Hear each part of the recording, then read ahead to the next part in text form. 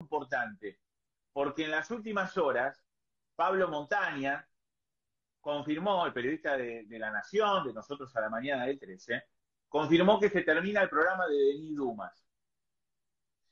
Se termina el programa, el sueño de la casa propia, así se llama.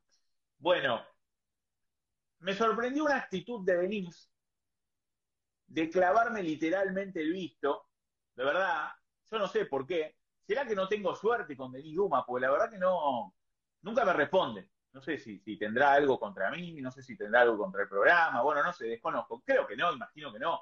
Pero ni para bien ni para mal, ¿eh? Nunca me respondió. Y hoy le mandé un mensaje para preguntarle de esta situación, para saber una reflexión, sus sensaciones únicamente, ¿no? Y me clavó el visto literal. No me contestó absolutamente nada. ¿Por qué le quería preguntar a Denis Duma eh, qué pensaba sobre el final de su programa, porque duró poco, creo que un poco más de un mes, me parece.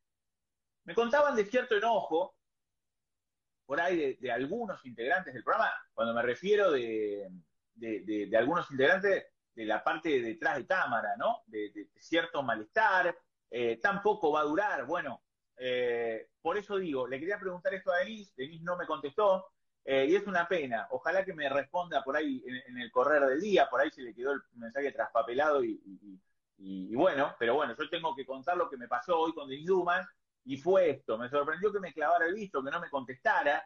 Em, además, repito, ante versiones que yo tengo, que las estoy contando por primera vez ahora, en este momento, de cierto malestar, cierta tensión, cierto enojo, eh, de algunos integrantes del programa con el canal por levantar tan rápido, tan rápido el programa.